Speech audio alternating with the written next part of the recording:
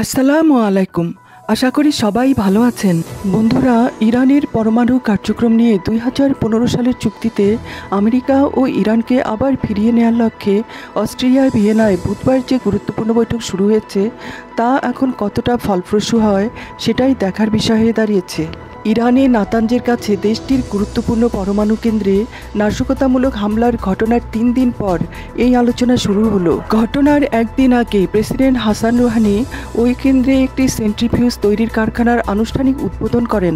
এটির উদ্দেশ্য ছিল খুব দ্রুত কাজ করতে সক্ষম এমন সেন্ট্রিফিউজ যন্ত্র তৈরি করা। এর আগে গত বছর জুলাই মাসে পুরনো সেন্ট্রিফিউজ কারখানাটি অজ্ঞাত শত্রুরা রহস্যজনকভাবে উড়িয়ে দিয়েছিল।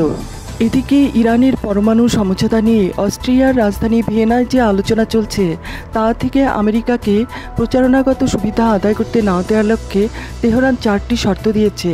ভিয়েনা আলোচনায় অংশগ্রহণকারী কূটনীতিকদের বরাত দিয়ে ইরানের বার্তা সংস্থা তাসনিম এই খবর দিয়েছে। ইরানের প্রথম শর্ত হচ্ছে দেশটির উপর থেকে আমেরিকার আরোপিত সব নিষেধাজ্ঞা প্রত্যাহার করতে হবে।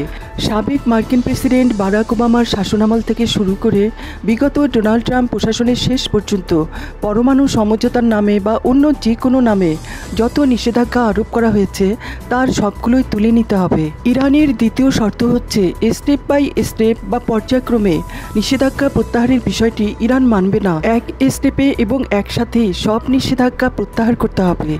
ভিয়েনা আলোচনার জন্য ইরানের তিন নম্বর শর্ত হচ্ছে, আলোচনার নামে সময়ক্ষেপণ মেনে নেওয়া হবে না। অতি দ্রুততার সাথে এই আলোচনা শেষ করতে হবে। যদি নিষেধাজ্ঞা প্রত্যাহার করা হয়, তাহলেও দ্রুততার সাথে করতে হবে।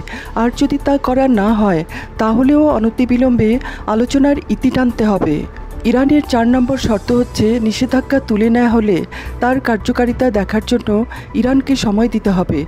প্রকৃত অর্থে নিষেধাজ্ঞা প্রত্যাহার করা হয়েছে কিনা তা যাচাই না করা পর্যন্ত ইরান পরমাণু সমঝোতায় নিজের দেওয়া প্রতিশ্রুতিতে পুরোপুরি ফিরে যাবে না।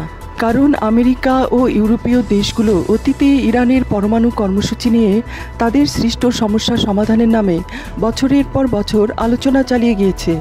এই দীর্ঘ সূত্রিতার কারণে ইরান ক্ষতিগ্রস্ত হয়েছে। এবারও যাতে সময়ক্ষেপণ করে ইরানের পরমাণু কর্মসূচির ক্ষতি করতে না পারে, সেজন্য তেহরানের পক্ষ থেকে এই সব শর্ত আরোপ করা হয়েছে। বন্ধুরা, আজ এই পর্যন্তই। ভিডিওটি ভালো লাগলে আমাদের চ্যানেলটি অবশ্যই সাবস্ক্রাইব করুন। ভালো থাকুন, সুস্থ থাকুন। আল্লাহ হাফেজ।